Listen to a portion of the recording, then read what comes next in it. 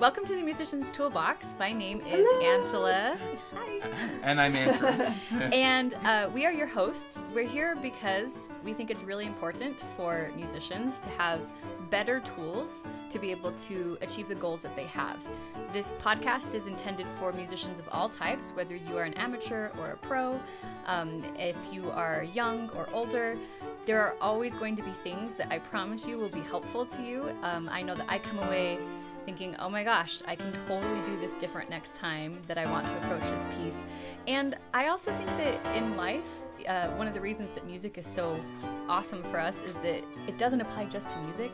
It also applies to our whole lives. So, um, so we're so glad that you've joined us for this episode, and Andrew's going to introduce our guest. Yes, and we have had this guest on before, but to our dismay, the audio is not good, so we're doing another interview um, and in case you didn't hear or you don't know who Kimberlee Dodge Dray is, I will tell you about her. She studied at BYU, and then she took a hiatus from music. It kind of sounds funny to to begin with that, but anyways, um, she is an advocate um, for passionate music making, and we'll probably talk about that in the interview.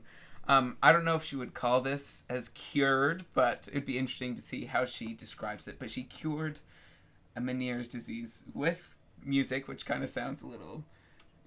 If you know anything about Meniere's disease, yeah, you'll you'll it will be interesting uh, to hear about that. And then after her hiatus from music, she flew to New York for lessons with a teacher from the Mannes School of Music, and she's just a wonderful performer. And we are so glad you are here.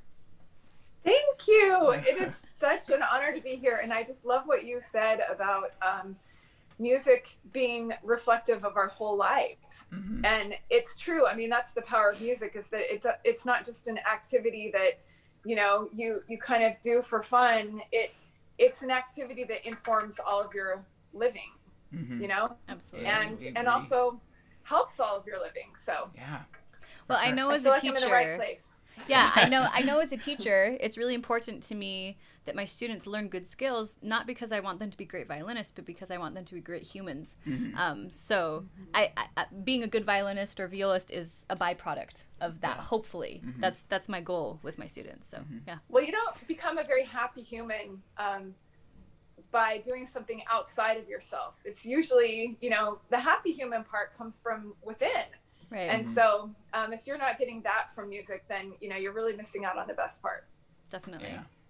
So, we want to dive into a little bit. Can you tell us a little bit about how you began playing violin and kind of what your journey has been? You can just give us cliff notes in certain spots or whatever yeah, you think is most uh, important about your. You know, I I was the oldest of twelve children, so the fact that I had violin lessons at all was kind of impressive. a miracle. yeah. yeah, and uh, and we lived in you know Twin Falls, where you guys are and at that time there was only one violin teacher in town and um, you know I, I guess in that way i was very fortunate because you know people who live in tiny mm-hmm. towns don't always have the opportunity to study such a um, unique instrument a string instrument which i think really is mostly reserved to sort of elite circles to be mm-hmm. quite honest it's expensive um, so anyway i loved the violin i loved to play um, but I never considered myself in a position to ever, you know, think of it as a career or anything like that. It was just something that I loved to do. And my father, my last year of high school, was trying to figure out how he was going to pay for college.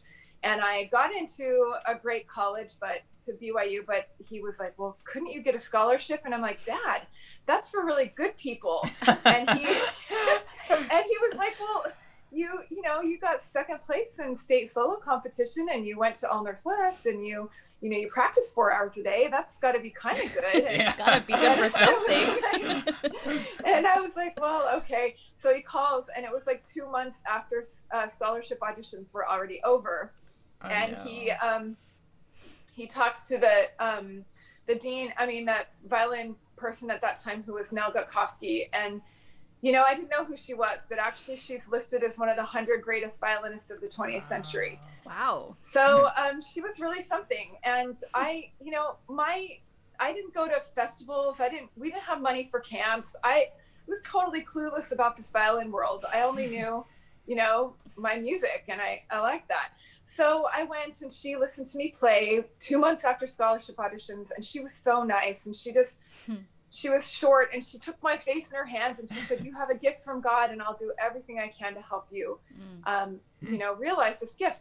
Which I thought she was just being nice to make me not feel too badly about my playing. But two weeks later, I I learned that I had one of the highest scholarships that year, wow. and um, for music. And so I went and man, I was not in the headspace for understanding this music. I'd never had theory or anything like that. Um, my piano skills were just uh, and and you know after two years i think i had sort of an imposter syndrome in my mind i just kept waiting for everybody to figure out i wasn't as good as i they thought that i was mm. um, and i think that it all of that and it was quite a competitive program and i think all of that just you know i i just kind of wasn't mentally there. So I changed my major and I to English and I graduated in English actually and I um, had I got married and I had children, four of them.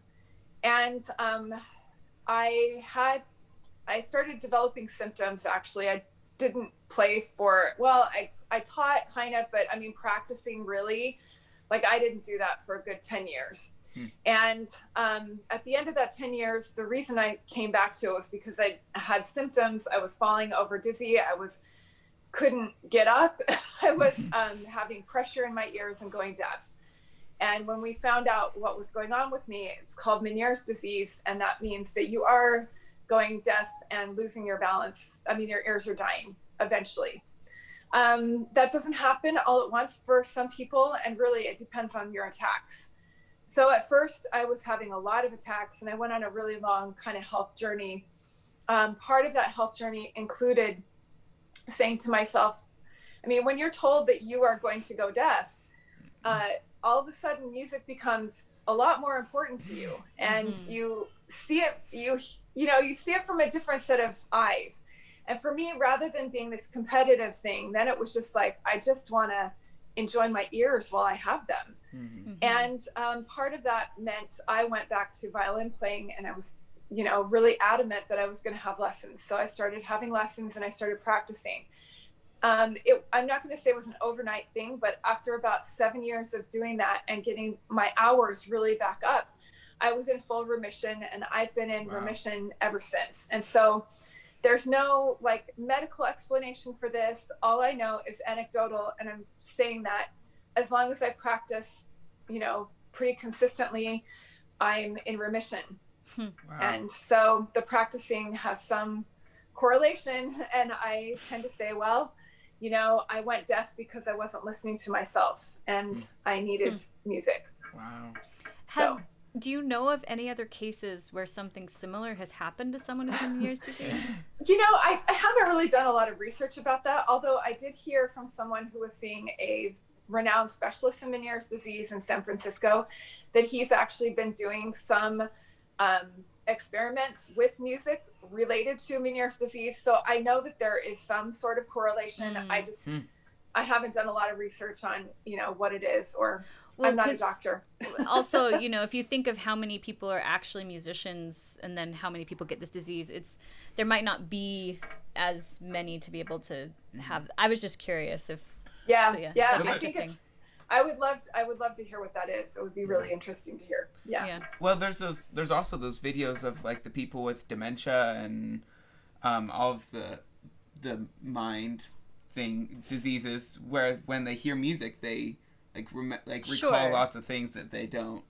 Yeah, that's very different be than to. being but, cured. Yeah. Oh, I think I mean there's a whole there's a whole field of music, and therapy, I yeah. love yeah. the musical therapy, um, and I hope that the medical community will continue to. Mm-hmm.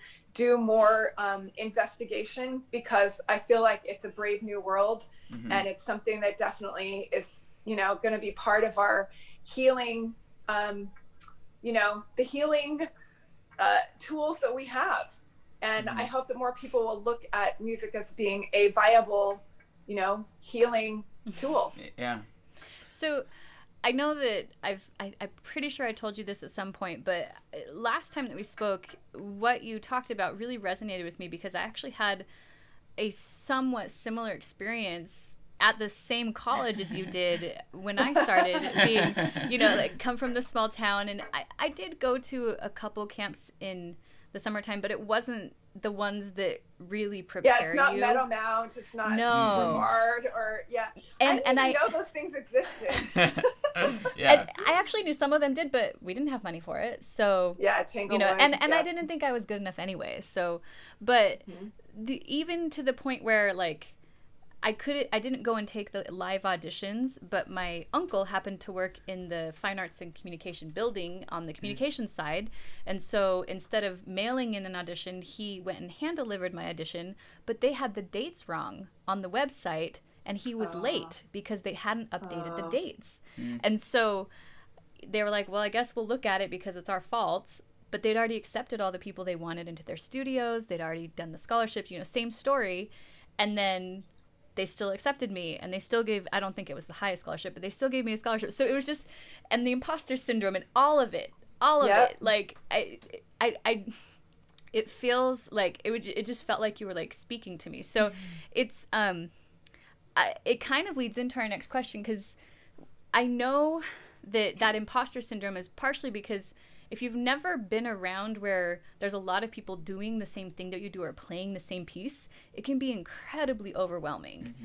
Yep. Um, and and then when you get put in that situation where you know at home the only other violinists you were playing with were in your studio and you had a pretty good idea of how everyone played and now all of a sudden you're around everyone who was the best in their studio or was this and it's really hard not to compare yourself to other people mm-hmm. so um, can, can you talk to us about how how you've um, dealt with that that that temptation to to compare and how how you can get over that as a musician well um man i think i still struggle with it mm-hmm. i know mm-hmm. i do mm. um it's uh it's an incredible temptation and part of it is good because we want to know we want to know how to be better and so others really are great inspirations for us right? Mm-hmm. and um, sometimes we think oh if i could only have that vibrato or i love her tone or i love this mm-hmm. right?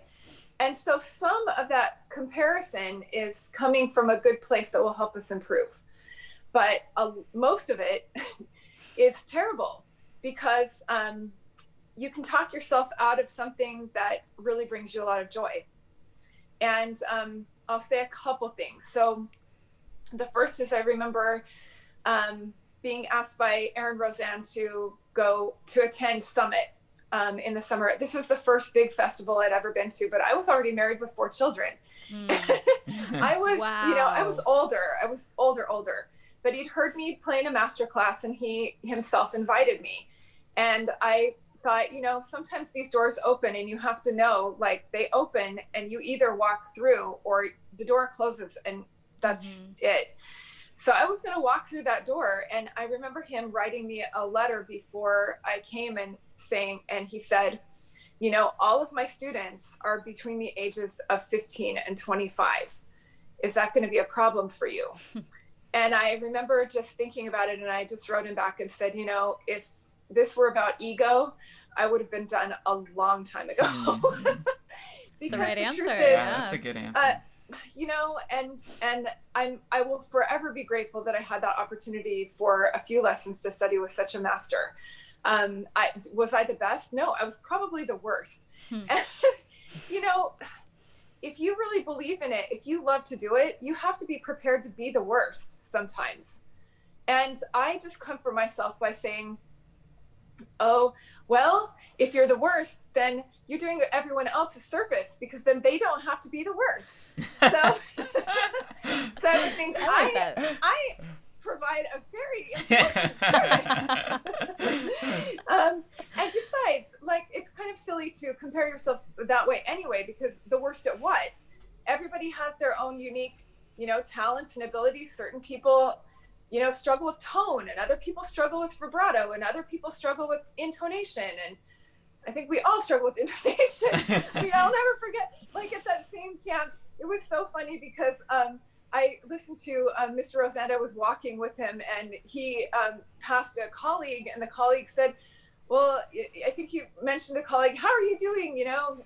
And he said, oh, still as out of tune as ever. And they all they just laughed at each other, and I thought that was such a wonderful um, kind of example for me because it's true. We never really get to a point where we're going to feel like we're completely the best. Here's another example. Um, my favorite story, and this is actually on my Instagram, but I will try to post it again. Or um, in any case, it's my favorite story. It comes from a book called The Accompanist, written by um, Andre Benoist.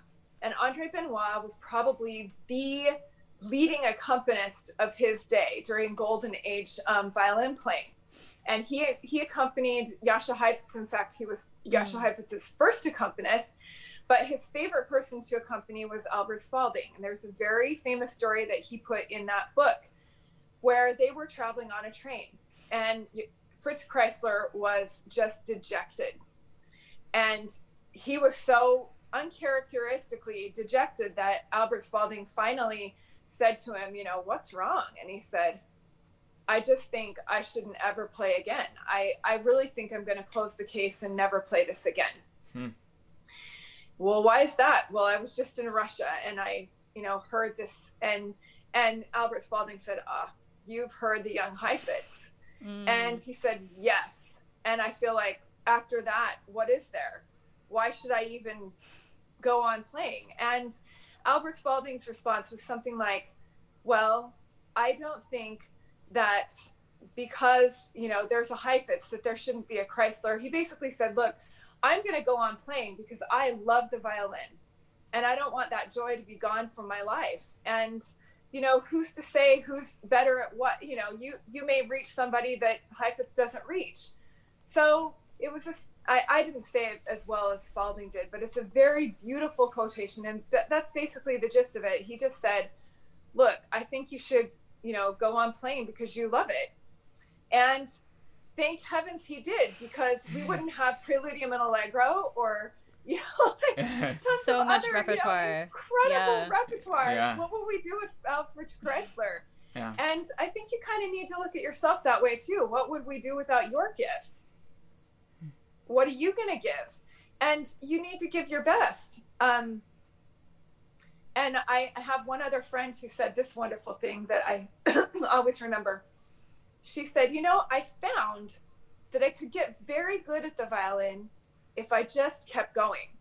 Mm. There are a lot of people who quit along the way because it tests your you know your muster Everything. Yeah. it'll test you yeah. and she just said i found that i could get very good at the violin if i just kept going and i absolutely believe in that um, you know, the people that you see who are the phenoms and the stars, they didn't get there by accident.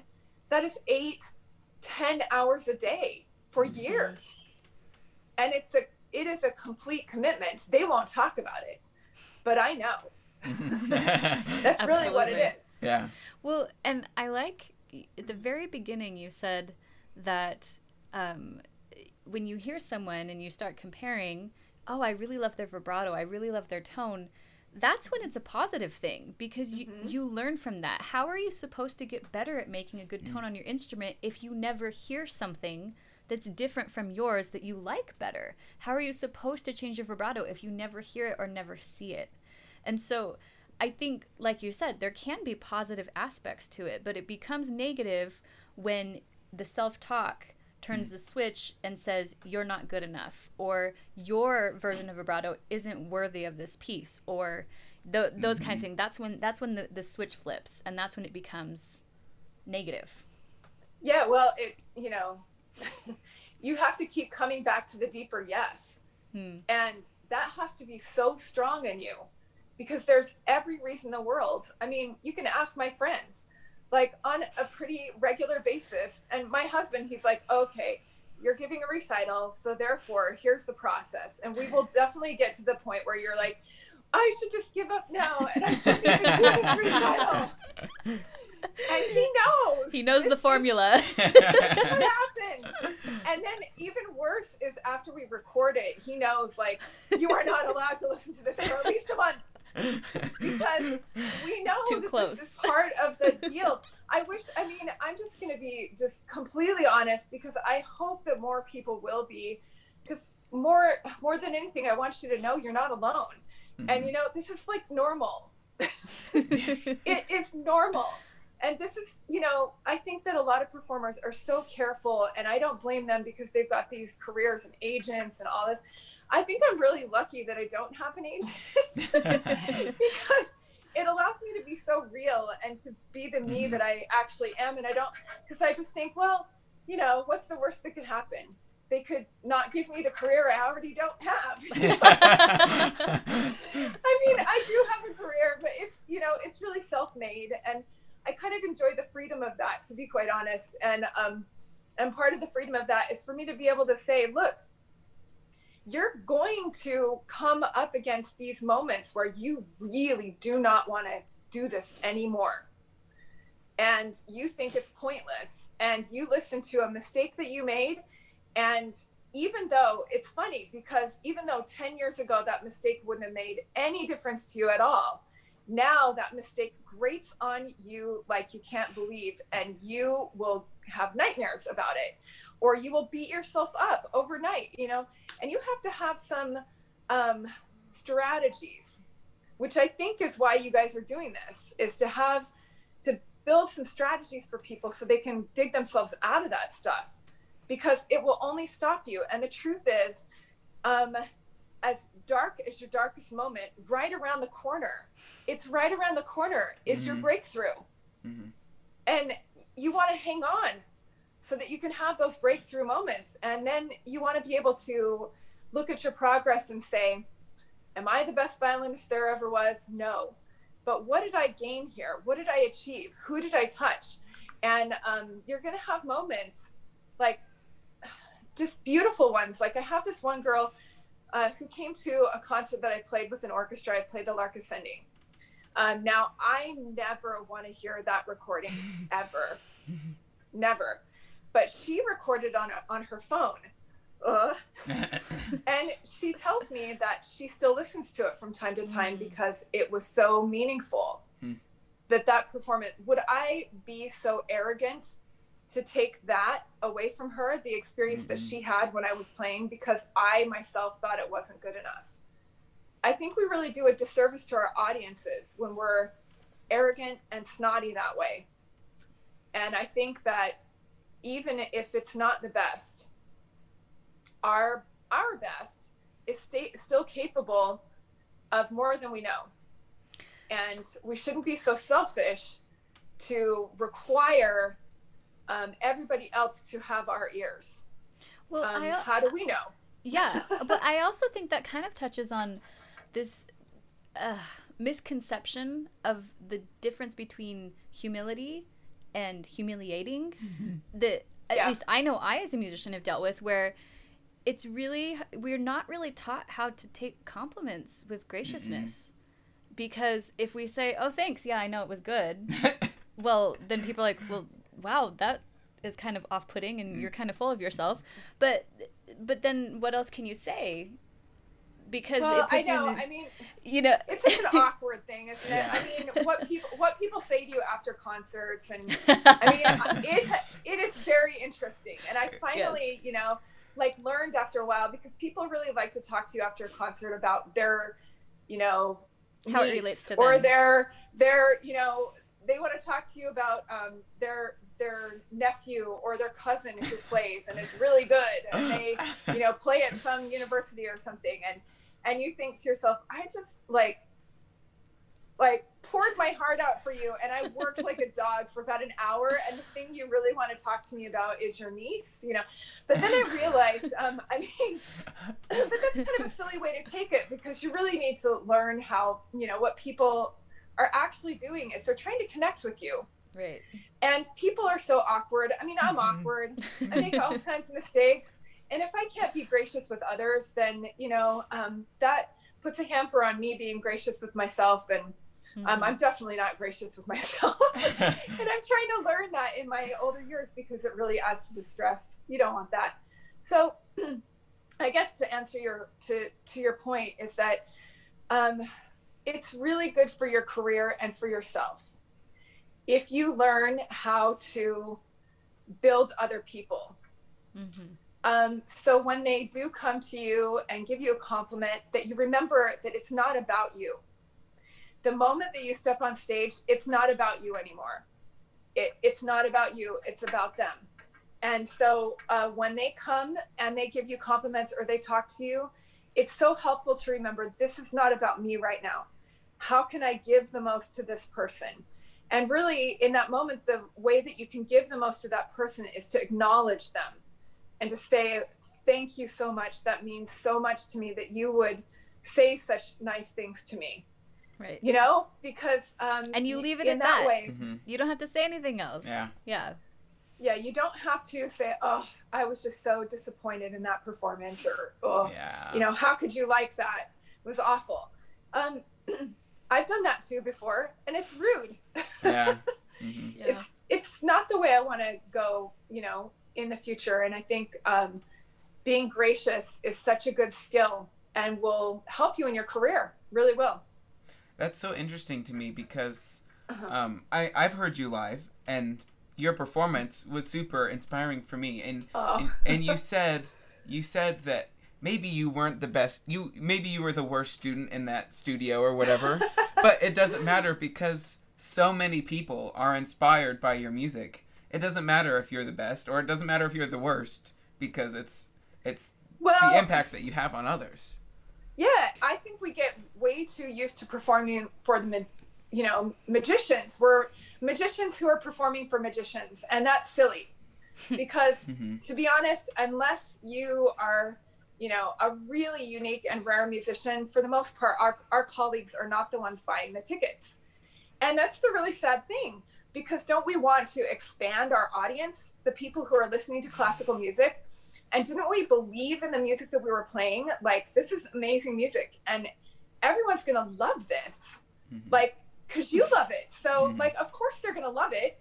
But we for some reason think that it's not a worthy gift unless it is a Heifetz gift and um, we hear all of the like details and the shifts and the bow changes and guess what like nine out of ten people don't hear that mm-hmm. nor do they know that it's not supposed to be there mm-hmm. nor do they care mm-hmm. they just think it's amazing to see you do this left hand pizzicato they don't even know what it is they're like mm-hmm. what is that plucky sound and how is it happening mm-hmm. or you know they'll they'll hear some beautiful vibrato and they'll just be like wow and um, so there's all these things that we spend years and years and years and years perfecting that is really attractive and fun for other people to listen to and um, we're being rather selfish if we uh, say to ourselves and i've been selfish like this too this is why i know where yeah. i just say it's just not good enough it's not up to my standard well then you're then you're making it about you again mm-hmm. and it's not about you the mm-hmm. moment you step on the stage you have to remember this music if you have been blessed and given the resources to even study it i mean you are among the rarest of the rare the most privileged of the privileged on this earth mm-hmm. and if you have that skill and ability for you to just say mm, well, it's not up to my standard. Oh, yeah. it's not.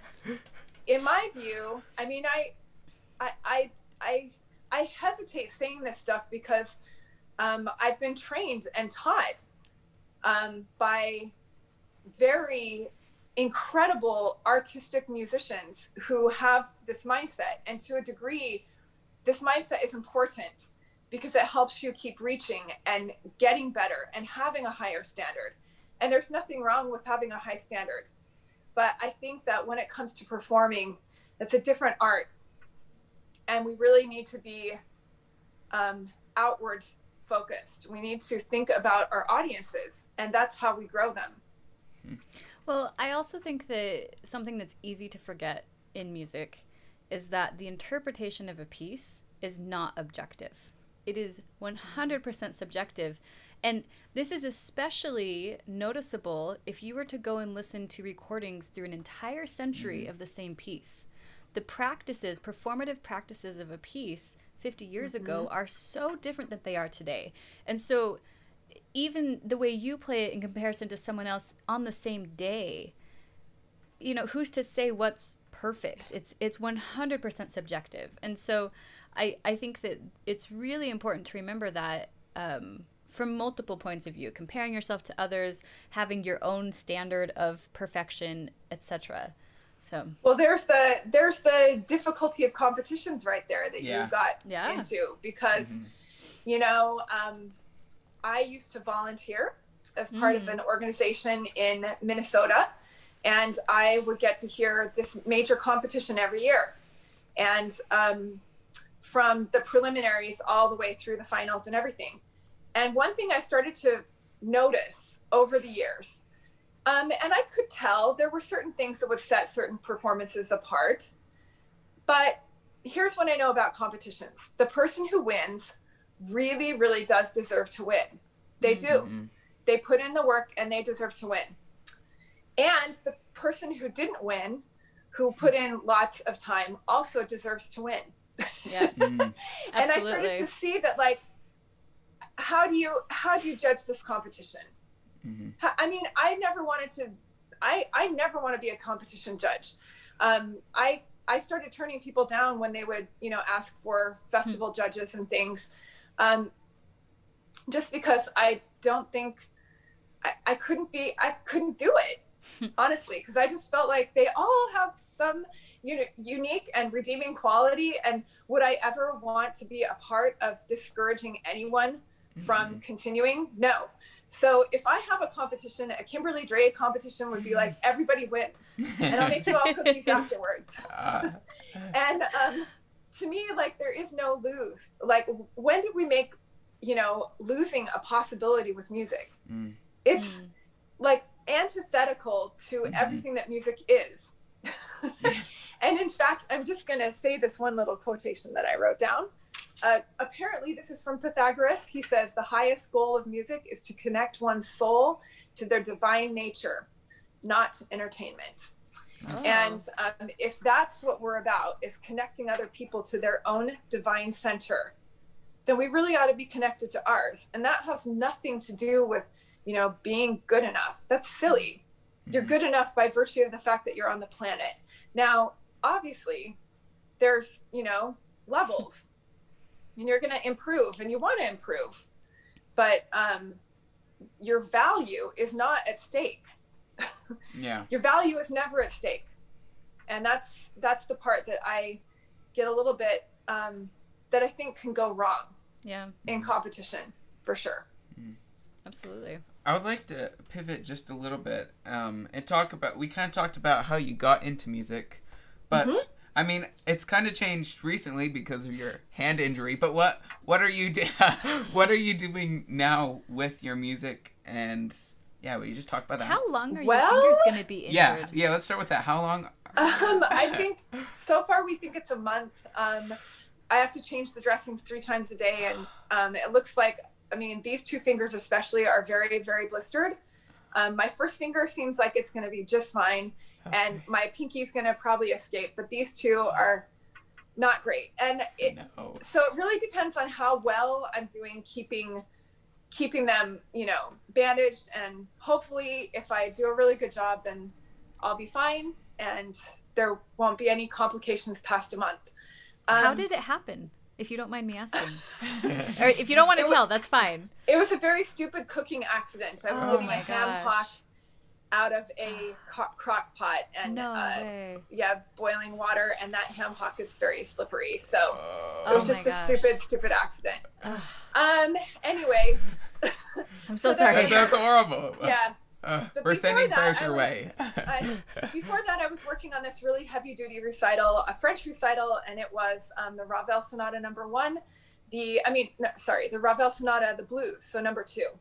The blues sonata, um, Chausson poème, then um, some uh, Lili Boulanger pieces and a, a, a couple uh, Debussy transcriptions and things, and then um, Yankee Doodle by Vieuxtemps. So um, it was That's a really, cool. um, yeah, girl with the flaxen hair, uh, of course. so, um, so I was working on that, and I was really on schedule, and I was supposed to perform in February. Mm. But um, October 17th, I got this awful sickness. Um, like ironically, because I had a skin infection that I was prescribed an antibiotic for, and the mm. antibiotic mm. caused this awful sickness. So oh. the funny thing is now I can't have an antibiotic in case of infection oh. here because of the other sickness. Oh no! So I have to be extra careful. I know it's ironic. In any case, yes, that's what I was working on. Okay, so what am I working on for the future? Well, so what can I still do? I can still, um, I can still uh, compose. So mm-hmm. I've had these pieces that have been on the back burner because I've been working on these recital rep for a long time, and now it seems like it's the perfect opportunity to get started on my composing again. So that's what I'm going to do is um, work on, and I'm actually working on a piano piece. So Andrew, I'll send it your way when oh, I'm done. Cool! I'm so excited to see it.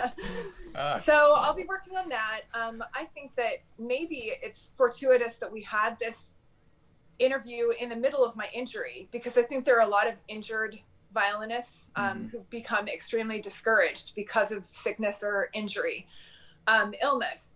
And um, yeah, I'm just going to be real about it. I think that so many in this career are mum, completely silent if there's mm-hmm. ever. And they're even so careful that they won't, you know, talk to you about it unless it's on the phone and they won't, you know, own up mm-hmm.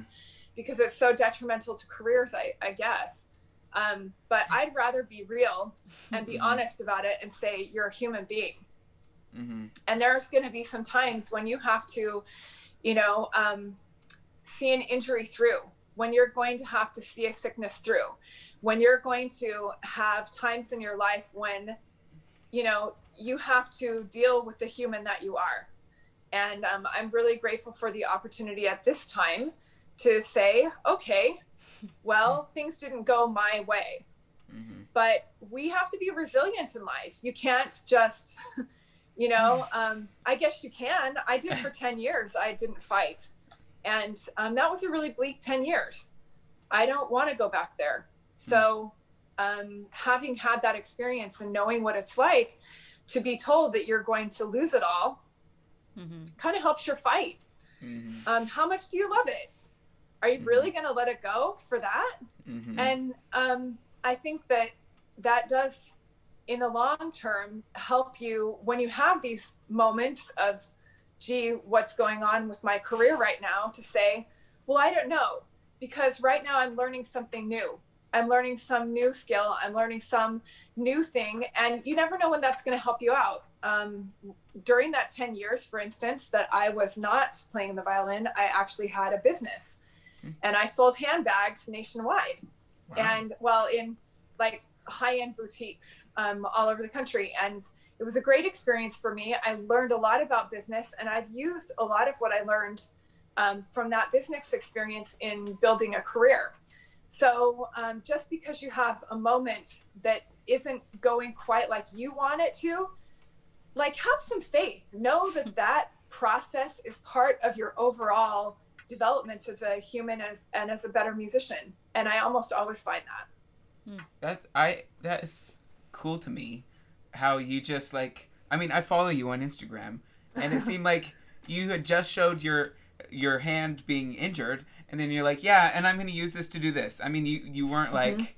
Oh, I can never play the violin again, and I mean, and you didn't, you weren't like. Oh, believe me, the first, the first thing out of my mouth when the doctor looked at it and said these are second and third degree burns, I was like, am I going to be able to play again? That yeah. was the first thing. So yeah. yes, I, well, I mean, I am human. yeah, but but uh, what I think is really cool is that you weren't just like you just you didn't just give up. You you pivoted and you kind of you kind of changed the direction of where you were taking your music career.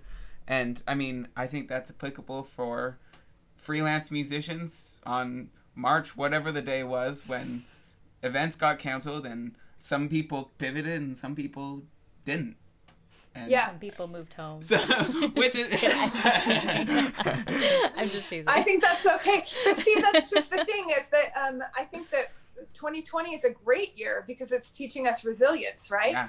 It's mm-hmm. teaching us how to be innovative. It's teaching mm-hmm. us how to, and there have been some amazing mm-hmm. like stories. I've seen some people that um, Project Music Heals Us is a really good example. They um, they're a quartet and they they used to be play a lot for um, you know I think um, nursing homes and they played um, they had grants and stuff and they would play for um, uh, prisons and those kind of people and obviously that kind of had to shut down even mm. and uh, they pivoted and now they play for covid patients like one-on-one mm. concerts talk wow. about music therapy i'm yeah. super super um, inspired by that and I have another friend, Sarah Whitney, who started doing these small mini concert series.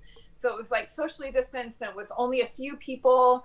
So it was just a smaller audience size and a smaller concert structure. But um, I just, I think, and in fact, the um, the venue in my town, they learned very quickly how to figure out streaming, and so they could continue their concerts.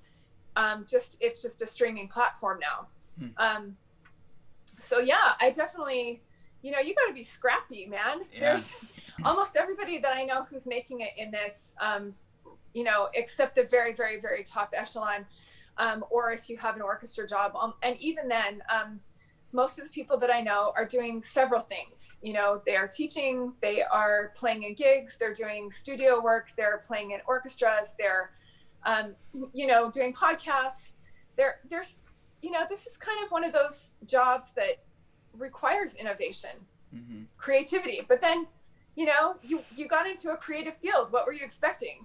Like yeah. to be not creative. what did you really want? That's funny. Yeah. Well, thank you so much for joining us. We want to be respectful of your time and um, no, it's great. Don't want to take too much time, but we have two final questions that we want to great. ask you.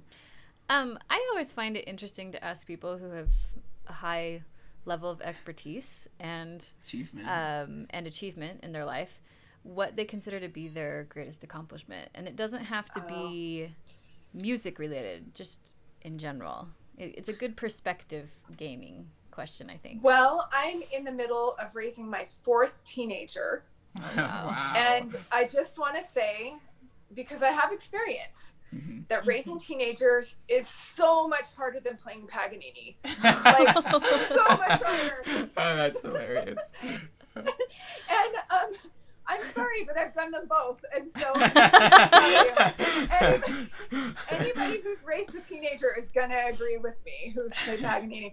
So, um, you know, I feel like getting through the teenagers, and the funny thing is, is that you don't really raise them; they raise you. So you get to the end of it, and you don't even feel like you know, you accomplished anything, but you know, I I have some pretty fabulous children. I don't brag about them very much because I try to keep that part of my life a little bit more private, but um but I'm super hmm. super mm. proud of my children and um and I'm glad I know that I could have reached higher levels of this art form had I made choices to put them second. And to a certain degree, I really have I've asked a lot of them. I, I can't even imagine how terrible it was for them when I was doing my Ysaÿe phase. I mean, that had to be painful listening to that every day. but but um, in general, um, I've had to take weeks and months off of violin playing for my children's sake before mm. Because they really needed me or because they were in a bind or because we were just going through a teenage phase and mm-hmm. they required my care. Mm-hmm. And um, for me personally, I'm glad that I made the decision to do that. Um, it was worth it, and yeah, that's probably my my favorite accomplishment. That and I don't know, just getting up every day and continuing to decide to play. I think it's an everyday mm-hmm. choice, and um, and I hope that I'll keep choosing it even when I'm old and gray. That's super Thank cool. You. And finally, what are some? This might be something that we've talked about, but what are some tools that you would recommend people to put in their toolbox, musicians? Um, I think I kind of touched on it just recently by saying that um, developing other skills sometimes is just as important for your music career as the music itself. Um, we like to be this artist who does nothing except practice all day. And that is a reality for people very few people who even even people who have an agent that's not even really their reality um, most of us have to take care of a lot of things, and almost all of us are entrepreneurs to a certain extent. The number of people for whom it is a reality that they think of nothing but music is incredibly slim. And most of them are under the age of 18 who have parents, mm-hmm. right, who are taking care of all of that stuff for them. So that um, phase of your life is is limited. And after that, you know, you really have to grow up and take care of a lot of different things. Um, I know, for instance, that there have been recital series that I have um, applied for in which my English degree has come in incredible handy because mm-hmm. um, I have seen them before. You, when you have a recital series, a lot of times you will have to fill out an application, and that application will include things like, um, you know, your program and your program notes, and sometimes your education and a lot of your background, those kinds of things. If you can't spell correctly, or if your punctuation is all over the place, um, or if you're, I mean, you just want a professional look. And unfortunately, you may be a very great musician who doesn't get an opportunity because you have other skills that aren't up to snuff. Mm-hmm. Um, I think another thing like headshots, they're important. You need to get a good headshot. It's part of being a professional. And um, you know, some some people have great photography skills, and that comes in incredible handy when you're on Instagram, and that is a photography based marketing platform. Mm-hmm. So um, if you've got photography skills, then you're doing really well on Instagram because it it caters to that particular skill. Um, another skill would be, you know, uh, producing. Oh man, I am terrible with that aspect. I I would give anything to have the recording skill. There are so many people who right now are putting out music and recordings um, just from their like little home, um, you know, just from a room like this. I think that's incredible. Um, you know, you can sell so many things, and not only that, but have great things to show for yourself on your um, on your website if you if you have that skill. So there are a lot a lot of skills that are very valuable, and I would just say, hey, play to your strengths. If you have other skills, other abilities, yeah, that's really important for musicians. Mm-hmm. Hmm. Awesome. Well, thank you. Thank you so much. Yes. It's been a pleasure to have you here. Yep. Thanks for making time for oh, it again. It's, it's such, you guys are so much fun to talk to. And I really am Likewise. so grateful that you had me back again after that garbled mess of our. Yes. What a great interview. Thank you so much for listening and watching, and we truly hope that you have found some tools to put in your toolbox. Our podcast, as a reminder, can be found on various platforms as well as on YouTube. Once again, feel free to send us a DM or voice message with anything that you'd like to see in the future. Um, we often post announcements and upcoming guests on our social media, so if that's interesting to you, you should go and give us a follow. Yeah, we would love some follows. And lastly, while we do love doing this for free, podcasting is not free. So if you really like what we're doing and have uh, gained some value from our show, there are a few ways that you can support us. You could share with your friends, you could rate and review and subscribe wherever you listen to podcasts. You could also shop our merch, uh, which you might have seen in our YouTube videos, or become a supporter through a donation at the Anchor Podcast link in the show notes below. Thanks for watching. See you later.